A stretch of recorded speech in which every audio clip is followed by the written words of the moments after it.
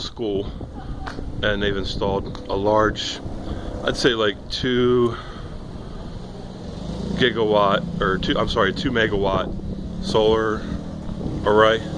Then they wired in some of these J1772 controllers for the college to for people to charge cars. How you access these is you contact ChargePoint and you get a RFID card that's tied to a to a ChargePoint account and you can access this controller. Now the charge plugs don't unlock. And I found out about this while working on my website, applemothership.com. It's about Steve Jobs' last project at Apple.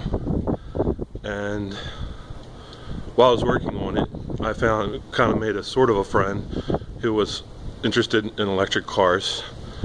And uh, if you go and research Tesla, they have a supercharger, but supercharger is totally different than J1772. It's an ISO, ISO or industry standard organization specification for a level one and a level two charger.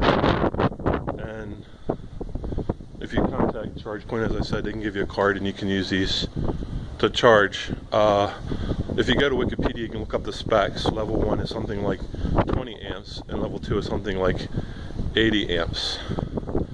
So that's about it. I'll probably be discontinuing website support for applemothership.com next month.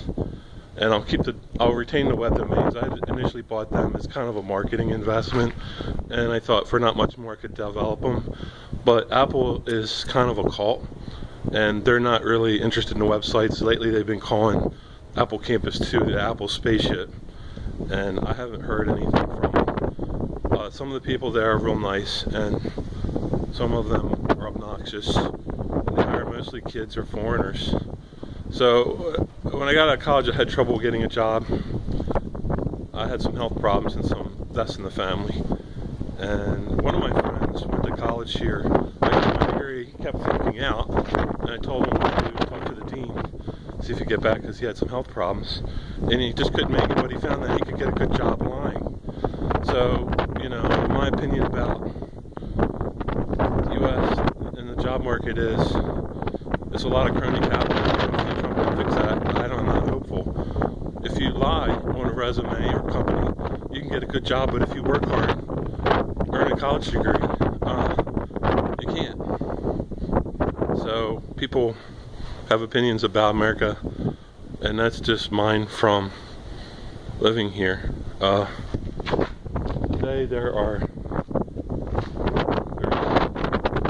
eight charge stations, and nobody's charging electrical vehicles. So most people find that if they're charging a vehicle, they have trouble finding a place where they can charge, or their charging might take an extended amount of time and it's not practical where you can get gas and just pump it in your car. It's it's almost like instant but if um,